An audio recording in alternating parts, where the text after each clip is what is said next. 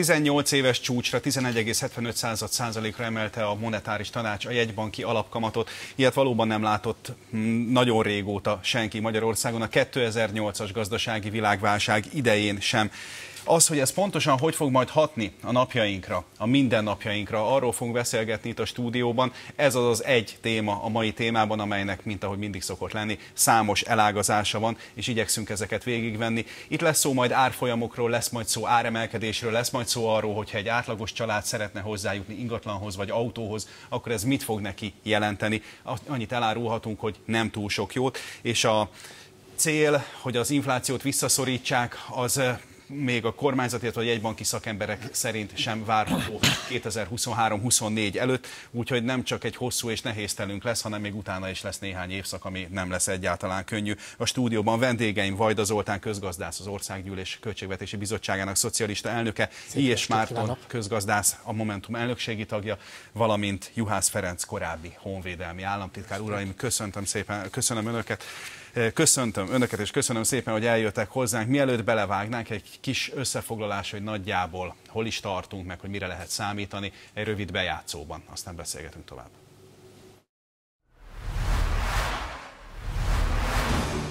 Az alapkamat a mai napon 100 bázisponttal 10,75%-ról 11,75%-ra emelkedik. A szigorítás pedig minden bizonyal folytatja a monetáris tanács, egészen addig, amíg az infláció is emelkedik. Utoljára 18 évvel ezelőtt 2004 tavaszán volt magasabb a jegybanki alapkamat a mostaninál. Akkor a 12%-ot is elérte a mutató. Hogyha 1%-kal feljebb megy, akkor 157 ezerből lesz egy 170 ezer forint. Az alapkamat emelés a hitelek, köztük a lakáshitelek kamatjait is feljebb tornásza. Egy 20 éves futamidőre 7,1%-os kamattal felvett 20 millió forintos lakáshitel, havi törlesztő részlete eddig 157 ezer forint volt. Az 1%-os alapkamat emelés ez havi 170 ezer forintra növeli.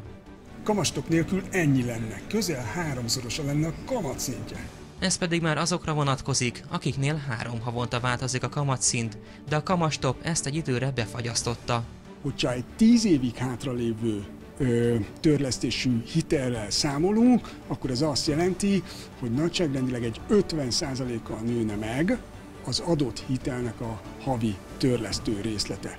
A jegybank küzd a forint stabilitásáért, de az árfolyamok alakulását tekintve úgy tűnik tehetetlen. Az alapkamat emelést nem csak azok érzik meg, akik lakáshoz szeretnének jutni, vagy éppen valutát akarnak váltani, hanem a szegénységben élők, vagy éppen az alsó középosztály tagjai. Az alapkamat egyes becslések szerint akár a 14-15 százalékot is elérheti a jövőben.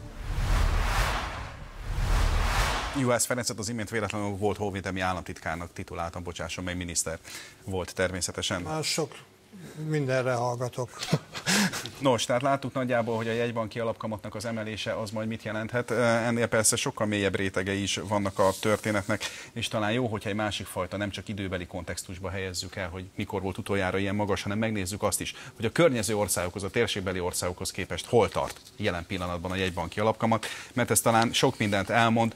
Tehát a térségbeli országokban mutatjuk ezt a táblázatot, Albániával, Horvátországgal, Szerbiával, Bosznia-Hercegovinával, Romániával, Lengyelországgal és Csehországgal vetettük össze a magyar kamatszintet. Látják, a magyar kamatszint 11,75 százalék, mindenhol alacsonyabb. Bulgária hiányzik, a bolgárok hozzákötötték magukat az Európai Központi Banknak a kamatpolitikájához, és most még az alatt is vannak ott nulla százalék. Egyébként a jegybanki alapkamat az eurozóna is hiányzik, ott fél százalék, szintén rendkívül magas legalábbis ahhoz képest, mint amennyi az eurozónában szokott lenni. Nálunk 11,75. Ennyi mennyivel kell, vagy ebből azért nagyjából következtethető, hogy mennyivel kell többet fizetni egy autó vagy egy eh, lakáshitelért. De mi az oka annak, hogy Magyarországon ilyen magas a jegybanki alapkamat? A bizalmatlanság szerintem, tehát hogyha egy vagy kell megfogalmazni, hogy a kamat, az alapkamat, az valami modell az, amivel mondjuk a befektetőket arra akarjuk ösztökölni, hogy finanszírozzák a magyar államadóságot, azt a hiányt, amit a kormány, legyünk igazságosan, minden kormány felhalmozott, az államadóságot, hogy finanszírozzák. Nagyon jó volt ez a grafikon egyébként, mert abban is igazságos volt, hogy mindegyik olyan ország volt, ahol nincsen euró, tehát nagyon igazságos volt. Én igaz az utolsó két oszlopot emelném ki, szerintem Csehországot és Lengyelországot, mert ugye a régióban valamilyen módon módon velük versenyzünk. Ugye láttuk, hogy Csehországban 7% a kamat, és Lengyelország pedig 6,5%, pedig az infláció az úgy nagyjából hasonló mind a három országban. Itt egy lábvégzetet azért, hogy mondjak, hogy a magyar infláció azért torzított, hiszen az ársapkáknak, ennek az ár limiteknek a hatása még nem látszik, úgyhogy ezeket, hogyha eltörlik, ugye már lehetett hallani, éppen ma volt már arról szó, ugye Nagy Márton, hát ilyen gazdaság visszafejlesztési miniszter, vagy nem is tudom milyen miniszter pontosan, arról beszélt, hogy itt az idő lassan kivezetni az ársapkákat,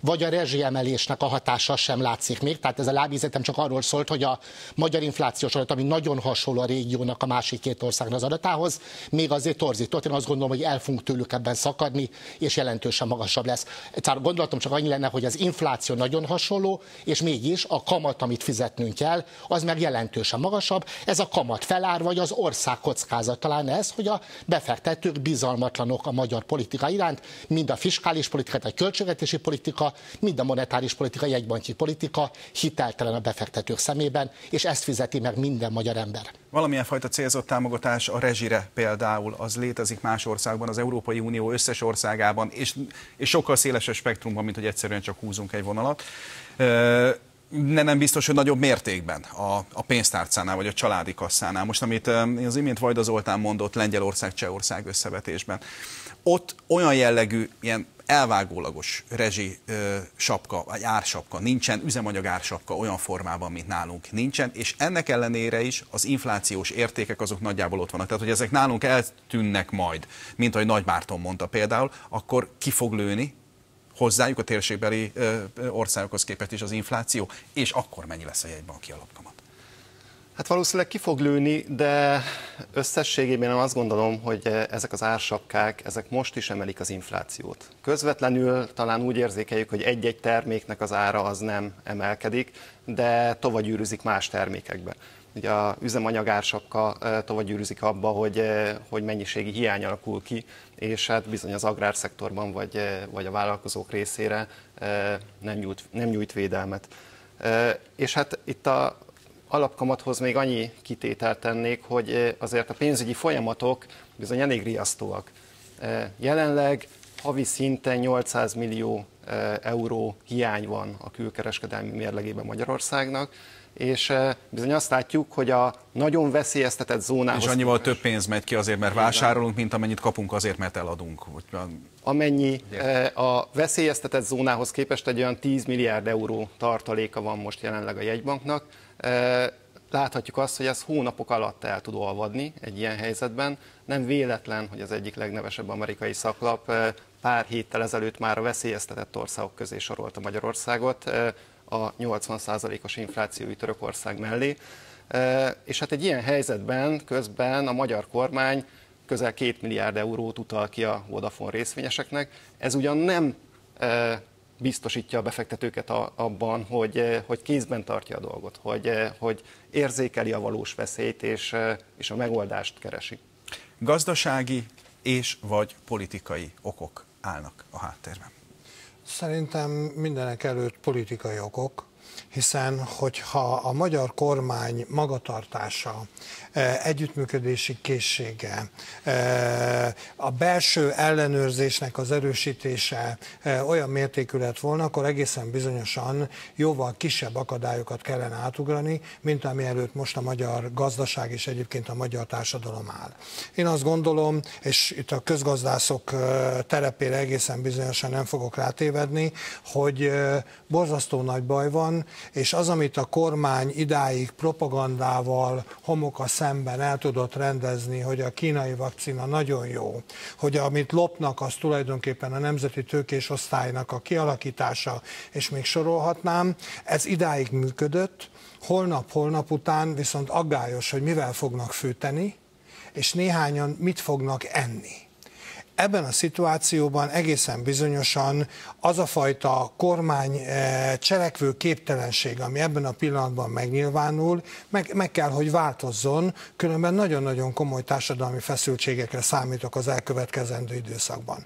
Akkor, amikor egy fideszes polgármester, akiket azért jól nevelnek, és pontosan beállítanak a sorba, itt most Cserpalkovicsra gondolok, azt mondja, hogy nem lesz működőképes az önkormányzat, borzasztó nagy probléma van. Akkor, amikor a főváros mindenféle megtakarításokra, takarékossági intézkedésekre szorul, akkor, amikor a pedagógus béremelés, mint égető problémáit kopog, akkor valóban az, hogy a kormány még mindig költekezik, még mindig alakítja, formálgatja a nemzeti tőkésosztályt, ez olyan, mint amikor hát, hogy is mondjam, baltával próbálunk evezni a háborgó folyón. Szóval tegyük hozzá, hogy az a 700 plusz milliárd forint, ami a Vodafone vételáraként megjelent a sajtóban, azt még nem fizette ki. Se a magyar költségvetés, sem pedig az a magánbefektetői csoport Eh, amelyik eh, a többségi tulajdonosa lesz majd ennek. Hogyha jól tudom, egyébként ott még auditok mennek, valószínűleg ebből lesznek még további átárgyalások is, de ezek általában nem máró hónapra mennek, de minden esetre ez valahol be van tervezve a költségvetésbe, az kétségtelen előbb-utóbb ki fogják És a fizetni. piac a magatartásában ez be is árazza. Ez tehát akkor, amikor így van. Így van, tehát ezzel már számolnak nyilvánvalóan. Illetve, bocsánat, ha még egy, egy mondatot mondta, hogy be van tervezve a költségvetésbe. Én ugye a Költségvetési Bizottság elnöke vagyok, írtam egy levelet Varga Mihálynak, hogy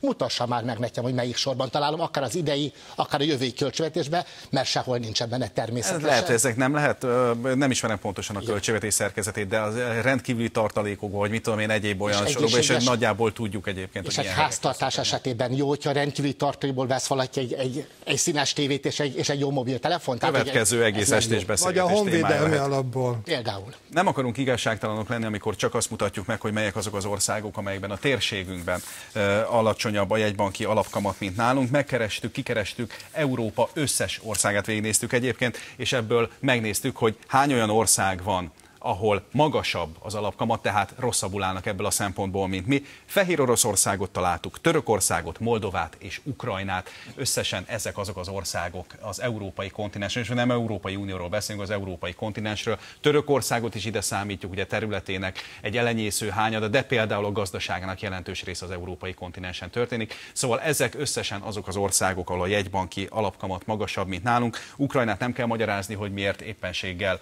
eh, egy háborúnak a, a szintere. Moldova az egy olyan ország, Románia és Ukrajna közékelődve, amelynek a felét az oroszok tartják megszállás alatt. Törökországnak egyébként is hosszú ideje, viszonylag hosszú ideje, egy pár éve komoly gondjai vannak, hivatalosan 70, a valóságban valószínűleg 100% fölötti inflációval. Fehér Oroszország, meg hát Fehér Oroszország nem sokat kell róla mondani, 25 század százalékponttal magasabb csak ott a jegybanki alapkamat, mint Magyarországon, tehát Európában összesen ezek az országok, ahol rosszabbul állnak ebből a szempontból. Ebből le lehet vonni bármilyen következtetés túl azon, hogy akár elmenne a gazdasági bulvárhírek között is. Akkor, amikor mi folyamatosan azt mondtuk itt a mi alatt általában az ellenzéket értem elnézést, hogy bennünket az Orbán, Orbán kormány a közép-kelet-európai élcsoportból teljesen hátrasorolt és gyakorlatilag ezekhez az országhoz csatlakoztatott, többek között ezen a példán is illusztrálható, és én azt gondolom, hogy hát sok aranyhalat kell kifognia Orbánnak Horvátországban, hogy sok kívánságát teljesítsék, hogy ezt rendbe lehessen rakni. Néhány perc szünet múlva folytatjuk, és abból kiderül, hogy az, hogy a jegybanki alapkamat magas, illetve a forint árfolyam is, az elmúlt hónapokban a belarus rubellel mozgott nagyjából együtt, ez a két deviza volt, amely ugyanannyit, vagy abban a mértékben gyengült az euróhoz képest, mint ahogy más sem egyébként a térségünkben. Szóval itt azért éle, élelmiszer áremelkedésről, a gazdaság általános helyzetéről, arról, hogy majd a rezsiszámlákban mivel kell szembenézzünk, árstop részlegesen ide vagy oda, erről mindről fogunk majd beszélgetni a műsor második felében. Maradjanak velünk!